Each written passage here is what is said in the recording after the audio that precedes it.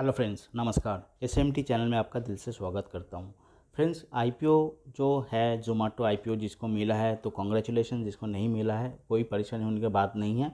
और भी बहुत सारे आई अभी ऑन अपकमिंग है, उसमें आप लोग निवेश कर सकते हैं।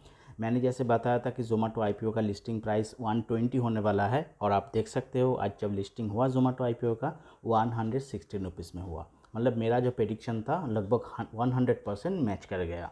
तो देखिए, जो अपकमिंग आईपीओ है, अभी जो एच डी सिक्योरिटीज़ में अवेलेबल है अप्लाई करने के लिए, वो फ़र्स्ट है रोलेक्स रिंग्स लिमिटेड ठीक है? ये आईपीओ ओपन होने वाला है ट्वेंटी एट जुलाई से लेके और इसका एंड डेट रहेगा थर्टी जुलाई। इशू साइज़ अभी तक कंपनी ने अनाउंस नहीं किया है बट इसका इशू साइज़ जो होने वाला है nine sixty two nine seventy rupees के अंदर, ठीक है? और जो इसमें भी आप अप्लाई कर सकते हो, अभी वेट कीजिए, क्योंकि अनाउंसमेंट अभी फाइनल अनाउंसमेंट अभी पेंडिंग है। ठीक है? और जो नेक्स्ट आईपीओ आने वाला है, वो है ग्लेनमार्क लाइफ साइंस लिमिटेड इसका इशू साइज़ इशू प्राइस होगा six ninety five two six seven twenty rupees ठीक है? और इसका स्टार्ट डेट रहेगा ट्वेंटी सेवन जुलाई को लॉन्च होगा और इसका एंड हो जाएगा ट्वेंटी नाइन जुलाई को। दो दिन आपको टाइम मिलेगा और इसका लॉट साइज़ ट्वेंटी मतलब एक एक लॉट साइज़ में ट्वेंटी आपको अप्लाई करना ही है, ये मैंडेटरी है।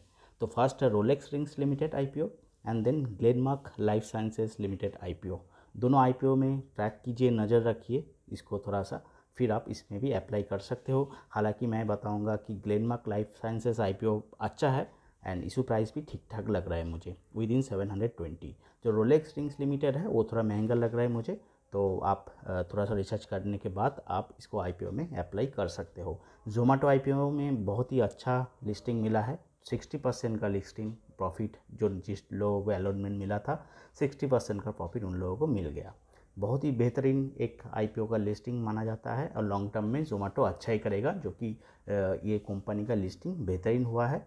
बट कंपनी अभी लॉस मेकिंग है प्रॉफिट नहीं हो रहा है बट लॉन्ग टर्म में जोमेटो का जो स्टॉक्स है, वो बढ़ने वाला है। तो अभी भी इस स्टॉक्स को आप जितना हो सके डिप्स में खरीदिए। इसका जो सपोर्ट लेवल है वन हंड्रेड लेवल का है।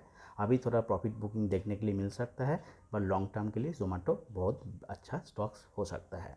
ठीक है? तो Rolex rings limited and Glenmark life science limited IPO में भी आप इन्वेस्टमेंट कर सकते हो। थैंक्स फॉर वाचिंग अगर फ़र्स्ट टाइम चैनल पर विज़िट कर रहे हो तो चैनल को ज़रूर सब्सक्राइब कर लीजिएगा एंड वीडियो को एक लाइक ज़रूर कर दीजिएगा। Thank you thanks for that